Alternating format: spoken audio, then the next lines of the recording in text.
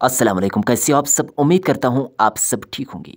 आज के इस वीडियो में मैं आपके साथ एक इंपॉर्टेंट इन्फॉर्मेशन शेयर करूँगा regarding Kashmir university PG entrance session 2023 examination centres examination centres इस साल कहाँ पे होंगे और कितने सेशंस में जो है एग्जामिनेशन होगा आपके एंट्रेंस के हवाले से और यहाँ पे जो एंट्रेंस के हवाले से टाइमिंग रहता है वो कब से जो है स्टार्ट होता है।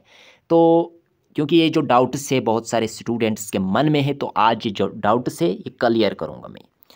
यहाँ पे एक और क्वेश्चन है स्टूडेंट्स का कि इस साल, पिछले साल के मुकाबले पहले ही क्यों एंट्रेंस होगा?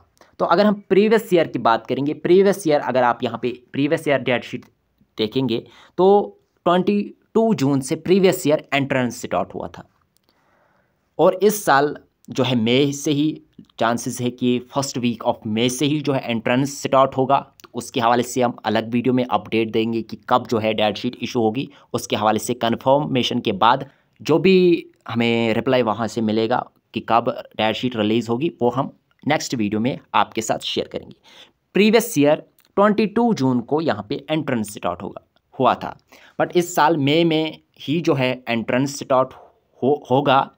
तो क्या रीज़न्स है? क्यों इस साल प्रीवियस ईयर के मुकाबले एक महीना, डेढ़ महीने पहले ही एंट्रेंस स्टार्ट होगा? तो इसके पीछे जो रीज़न है ट्वेंटी टू जून को यहाँ पे प्रीवियस ईयर एंट्रेंस कंडक्ट हुआ था, फिर जो है जुलाई में जो है इसके हवाले से सिलेक्शन लिस्ट्स आए।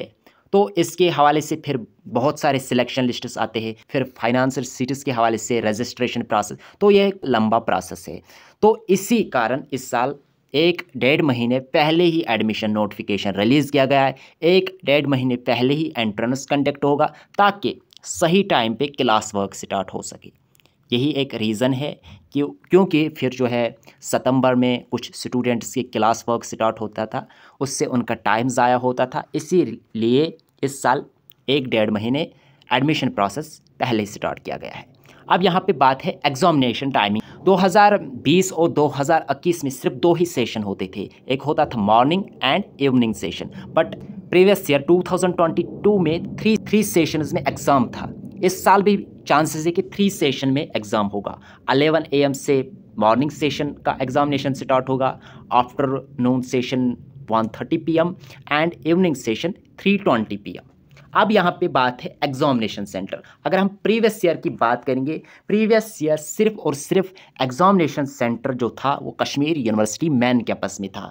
2020 और 2021 में कोविड 19 की वजह से एग्जामिनेशन सेंटर्स बहुत जगह पे थे। पुलवामा में एक था, कुपवारा में एक था बारामूला में एक था अनंतनाग में एक था, श्रीनगर में एक, दो जगह एग्जामिनेशन सेंटर्स थे। बट इस साल मैं आपको इन्फॉर्मेशन प्रोवाइड करूँगा। इसके हवाले से इस साल भी बहुत जगह पे एग्जामिनेशन सेंटर्स होंगे। क्योंकि प्रीवियस ईयर सिर्फ़ मैन कैंपस में एग्जामिनेशन सेंटर था। फिर जहाँ, जो यहाँ पे स्टूडेंट्स को काफ़ी सारे दिक्कतों का सामना करना पड़ा। क्योंकि इवनिंग सेशन में three twenty P M examination start होता है और four thirty P M exam ख़त्म होता है।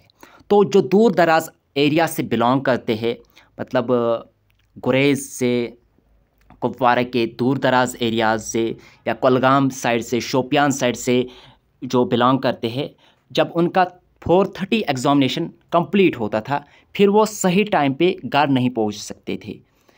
इसी रीज़न की वजह से प्रीवियस ईयर भी कश्मीर यूनिवर्सिटी के हवाले से स्टूडेंट्स ने ये कहा था कि एग्ज़ामिनेशन सेंटर्स बहुत जगह पे होने चाहिए। मैंने भी वीडियो बनाया था कि एग्ज़ामिनेशन सेंटर्स कश्मीर में बहुत जगह होने चाहिए। उसी चीज़ को मद्देनज़र रखते हुए इस साल कश्मीर यूनिवर्सिटी ने यह फैसला लिया है।